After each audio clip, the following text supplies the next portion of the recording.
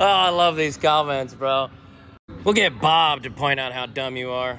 You need to check your info, bud. Seems you don't know how bearings work. They are greased. Why would you put oil on it? It's an enclosed wear item.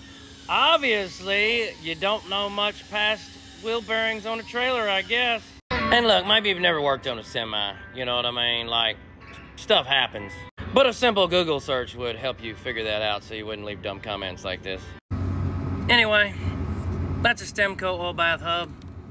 You pull this little plug out right here, and it's got oil. There's an oil level right here. It only runs in oil. Where's it at? Oh, it's right there. Let's see here. Yeah, we know. There we go. Bam!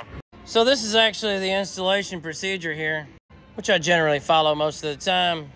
What does that say right there? That says I run my mouth on the internet without doing a simple Google search to find out if this is correct information or not.